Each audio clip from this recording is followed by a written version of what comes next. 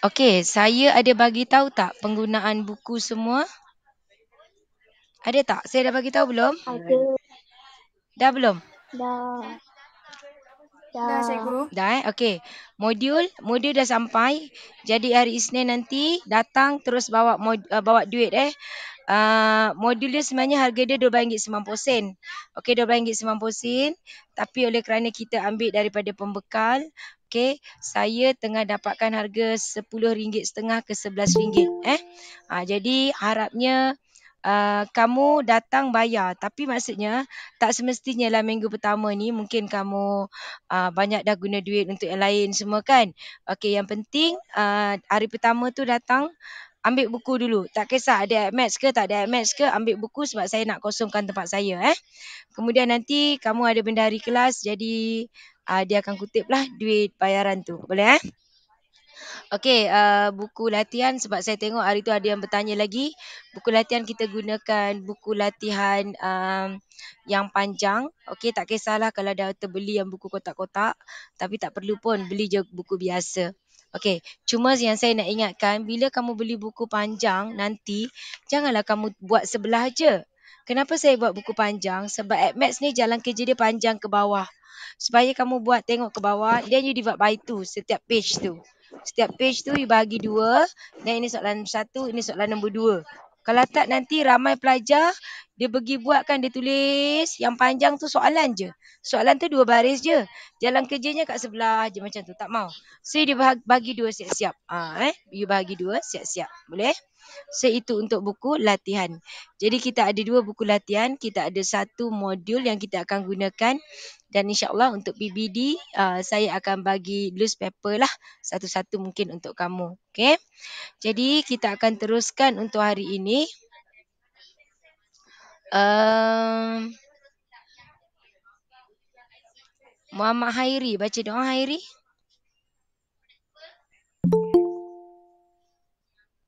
Hairi baca doa. Ya, cikgu. Okey, baca doa. Bismillahirrahmanirrahim. Allahumma ftah alaina hikmataka wa yakfir alaina min hazaini rahmatika ya rahimin. Amin. Rabbi shrah li sadri wa yassir li amri wahlul 'uqdatam min lisani yafqahu qawli. Amin. Amin. Amin. Alhamdulillah. Okey, terima kasih. Okey. So ada 31 orang.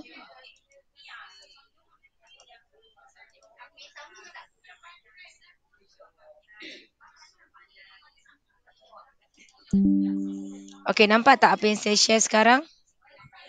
Nampak cikgu. Cikgu. Okey. Uh, kamu dah tengok dah ke rakaman yang saya share daripada kelas 4B? Tengok tak hari tu? Sebab 4B saya rasa saya ada share rakaman kelas diorang yang saya dah buat.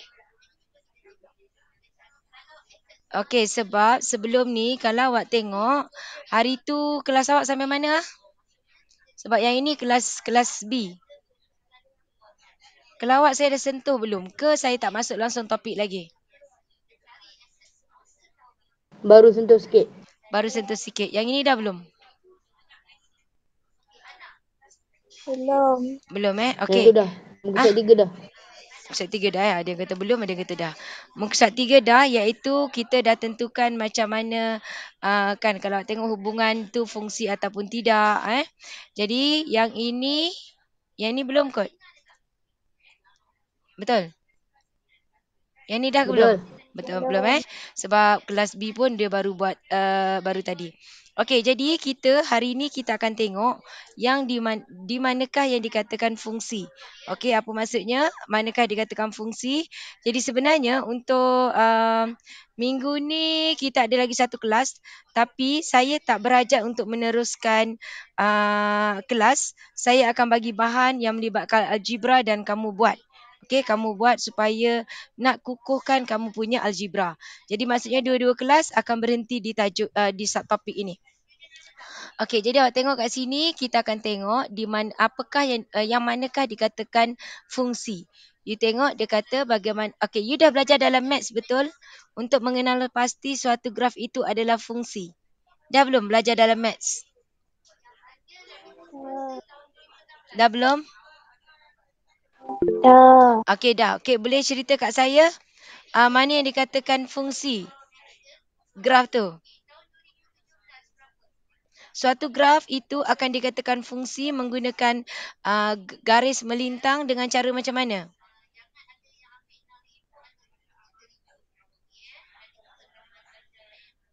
Macam mana?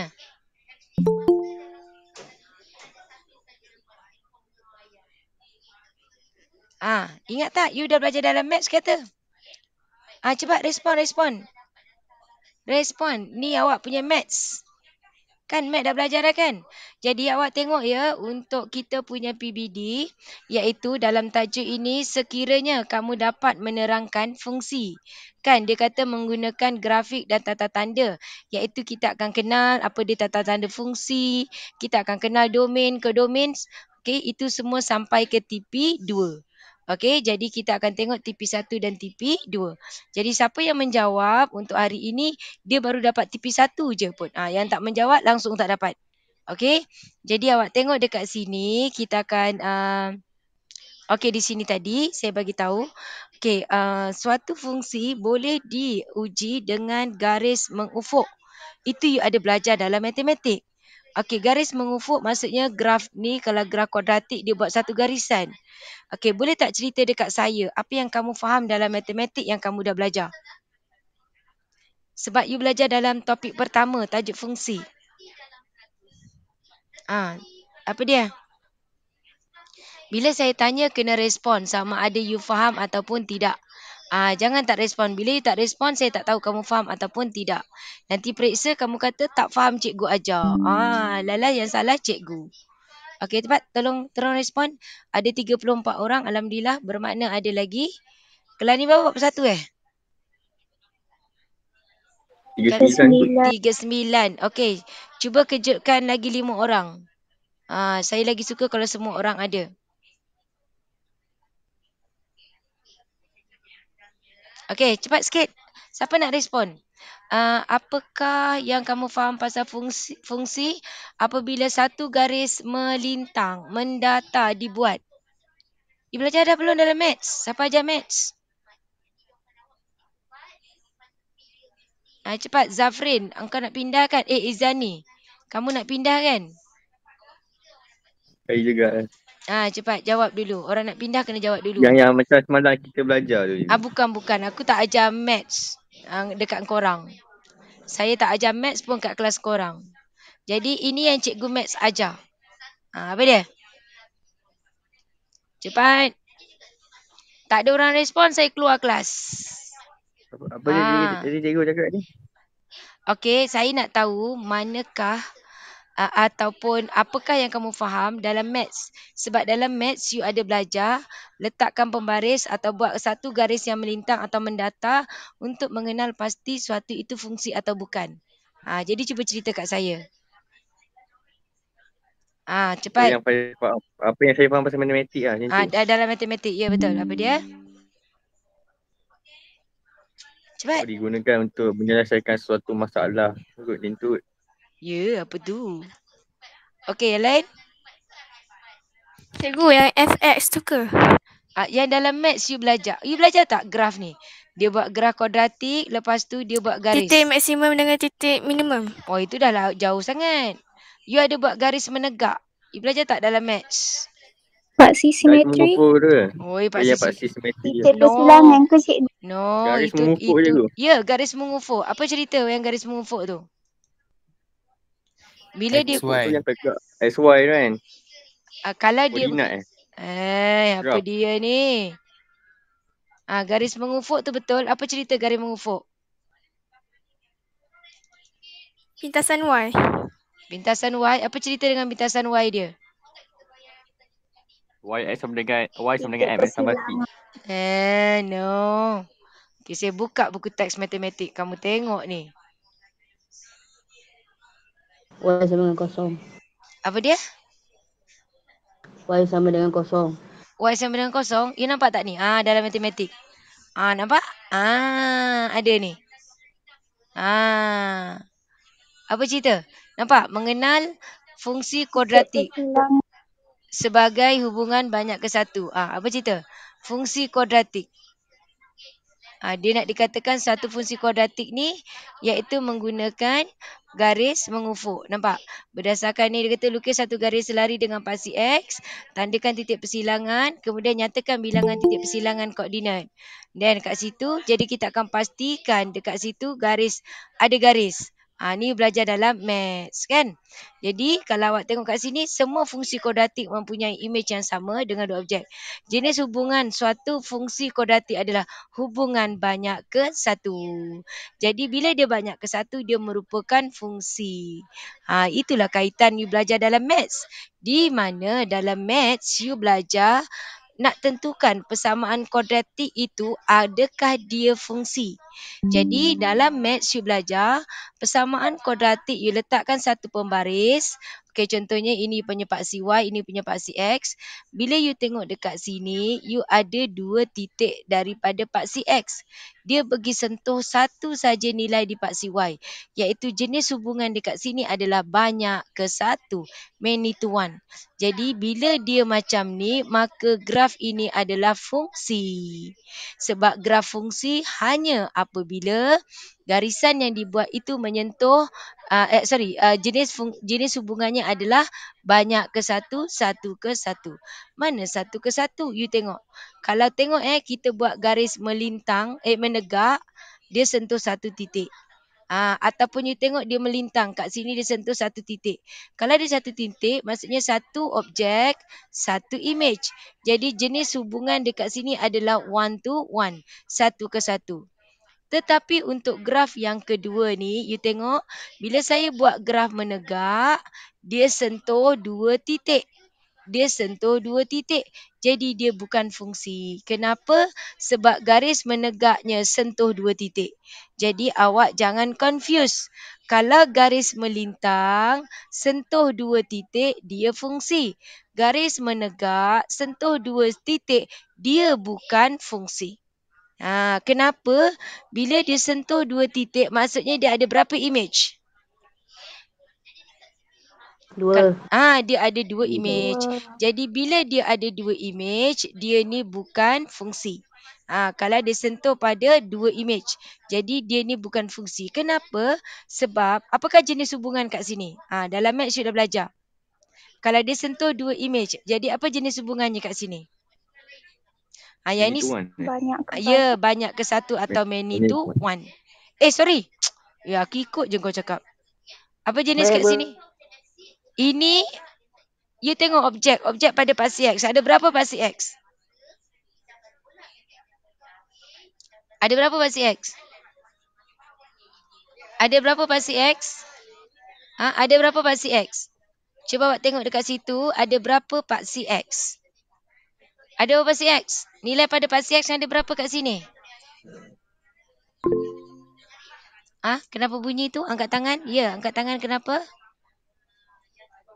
Cikgu lag ke cikgu? Tadi cikgu lag. Oh, ya ke? Ah, cikgu lag sekarang. Okey, sekarang dah okey? Dah, dah, dah. Ah, Okey lah, cuma cikgu punya video tu sekat-sekat. Oh, tadi ni ada apa call masuk sebab saya pakai data phone. Kan saya bawa hotspot. Uh, jadi dia kacau sikit. Data sekolah langsung tak boleh guna. Okey, jap ya. Saya ulang balik. Kamu tengok dekat sini. Ada berapa ni, titik dekat pasi X ni? Titik kat pasi X ni ada berapa? Dua. Hey, Dua je. biar betul Tiga, kau. tiga. Eh, satu, satu. No, no, no. Buat garis ni, garis tegak. Okay, you tengok eh. Saya buat garis warna merah. Saya buat garis warna merah. Ya eh. Okay, saya buat garis warna... Oh, merah tak boleh. Nanti sama dengan tu.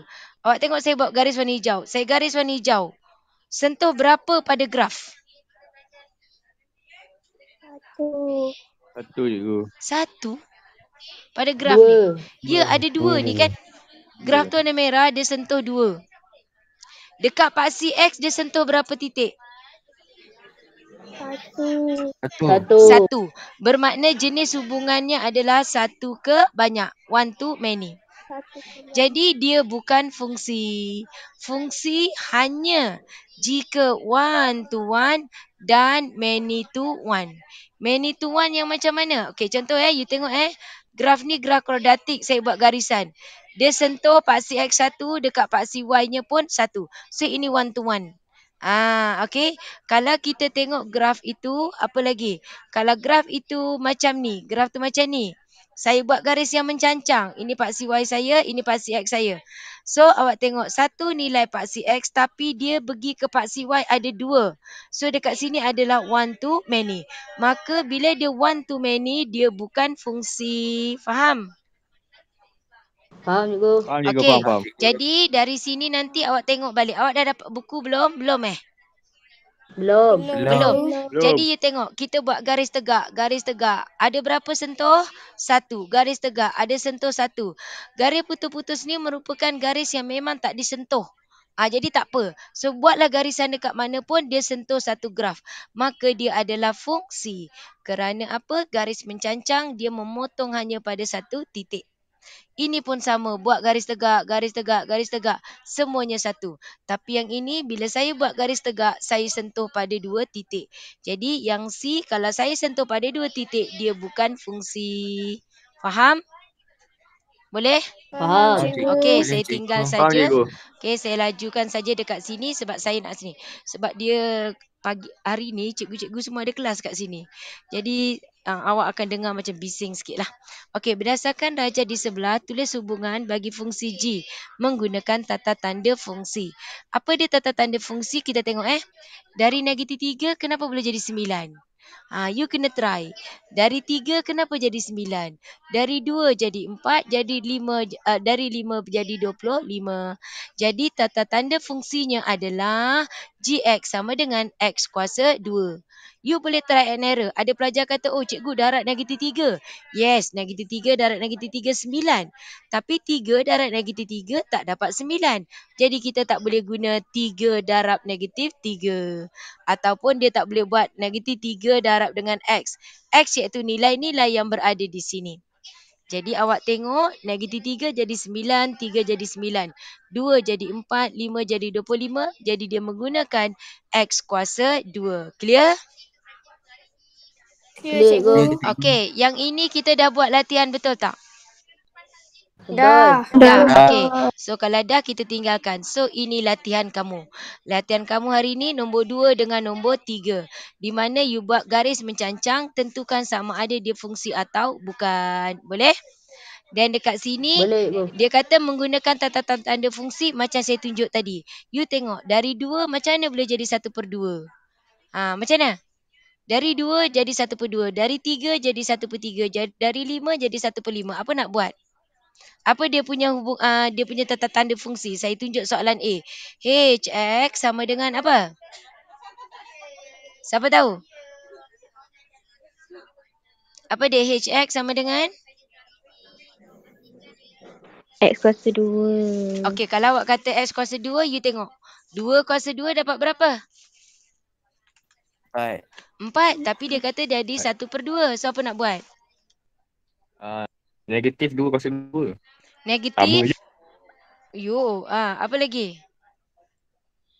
Eh, siapa yang respon tadi tolong tulis nama eh dalam grup. Awak tulis. Ah, tulis nama respon macam tu. Okey, cepat. Apa dia? Siapa tahu? Dari 2 jadi 1 per 2. Dari 3 jadi 1 per 3. Dari 5 jadi 1 per 5. Cepat, siapa tahu respon? Ke uh, 2 tu 2 per X 4 je. satu per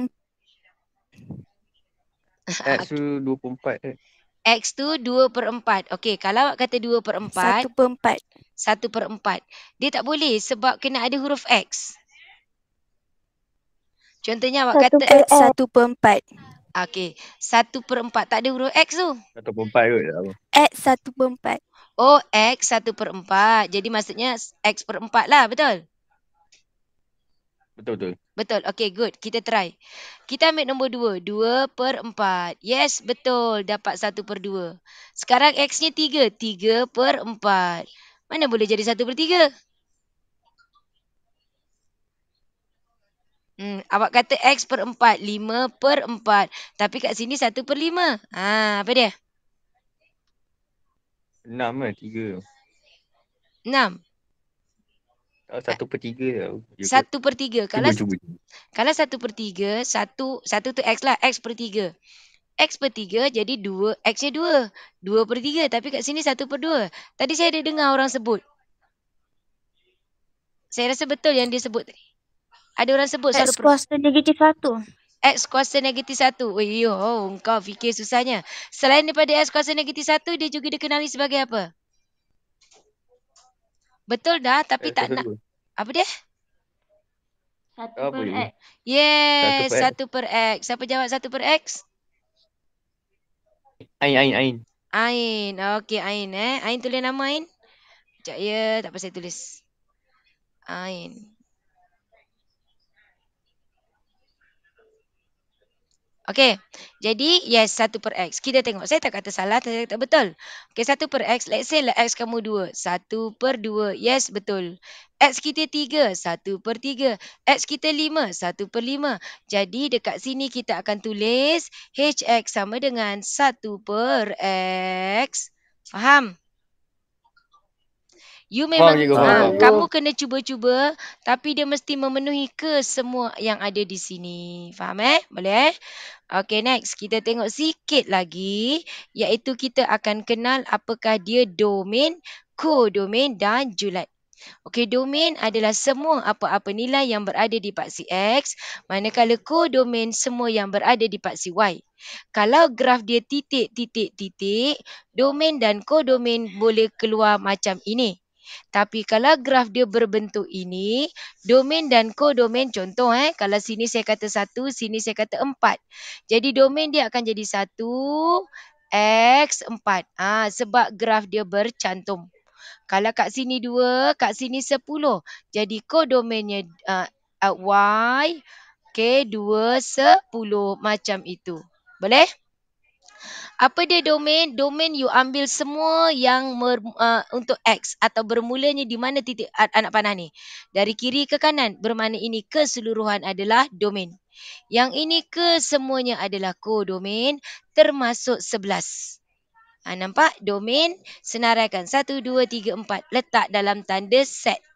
Kodomain senaraikan semua. 3, 5, 7, 9, 11. Te- Letak juga tanda set. Manakala julat, julat kita ambil yang ada pasangan. 3 dengan 1, 5 dengan 2, 7 dengan 3, 9 dengan 4. Maka julat kita 3, 5, 7, 9 letak dalam tanda set. Faham? Faham. Okey, man, uh, manakala Faham, cikgu. okey, manakala objek, objek ni sama uh, objek ni you ambil mana-mana yang ada pasangan. Jadi contoh, contoh eh kalau kat sini saya letak lima. Ada lima kat situ tapi dia tak ada pasangan. Lima. Maksudnya objek tak akan ambil nombor lima. Tapi domain dia akan ambil nombor lima. Sebab domain dan kodomain akan ambil semua walaupun dia tak ada pasangan. Tapi objek dan image kita hanya ambil yang ada pasangan. Jadi sebenarnya you tengok apa beza image dan julat. Ah, respon apa beza image dan julat? Julat yang ada pasangan. Julat yang ada pasangan. Habis image? Ah, ini image 3579. Ini pun 3579. Apa bezanya? Siapa yang respon tadi lelaki? Siapa? Saya. Siapa tu? Saya. Izani eh? Saya, saya. Ha. Izani? Betul ke? Ya, saya, saya. Ah, Izani tak payahlah dia nak pindah dah. Okey, lagi? Ah, cepat. Bagi. Okey. Ah. Julat dia kena letak dalam set image tayar. Ya, yeah, siapa yang yang yang jawab tadi? Siapa bang? Oh, Farhad. Siapa? Siapa? Farhad cikgu, Farhad. Farhad. Farhad. Farhad. Oh, first time saya jumpa murid nama Farhad. Okey, jadi itu. Okey, maksudnya awak dah dapat bezakan antara julat dengan image. Ah, julat dengan image unsur dia sama, bezanya yang ini ada tanda set. Boleh? Okey, saya tak nak teruskan lagi. Kat sini awak boleh tengok domain ke domain julat. Jadi sekarang saya nak awak uh, okey, sama ada awak boleh tengok dekat buku tak buku teks ada kan? Ah jadi awak tengok dekat online punya buku teks ataupun nanti awak tengok balik yang rakaman ni. Ah ini latihan kita. Latihan kita nombor dua. Latihan kita hari ini adalah soalan nombor dua semua dan soalan nombor tiga. Okey, nombor dua dan nombor tiga. Ah, tadi kat atas saya rasa ada sikit kot. Oh, tak ada, tak ada. Latihan diri 1.1 tadi nombor dua, nombor tiga. Kemudian awak buat latihan yang bawah ini. Iaitu latihan 1.2 nombor satu saja. Ha, lakaran graf kita akan sambung next class. Boleh? Awak ada masa lagi 30 minit, 20 lebih minit. So tolong settlekan latihan ini buat dalam buku latihan. Boleh? Boleh cikgu. Ada soalan, Boleh, ada cikgu. 34 orang. So kekal Ah, saya rasa lima orang yang tak join kan. Ah, jadi kekal orang yang tak join bilangan dia lah. So kita jumpa next class insyaAllah. Tapi hari Kamis nanti saya akan bagi tahu kalau tak ada kelas saya akan bagi tugasan untuk kamu. Jadi kita akan jumpa minggu depan. Okay, bye. Assalamualaikum. Baik cikgu. Bye. Bagi Terima kasih, cikgu. cikgu. Cikgu. Waalaikumsalam. Sama. Cikgu. Sama. Terima kasih cikgu. Sama.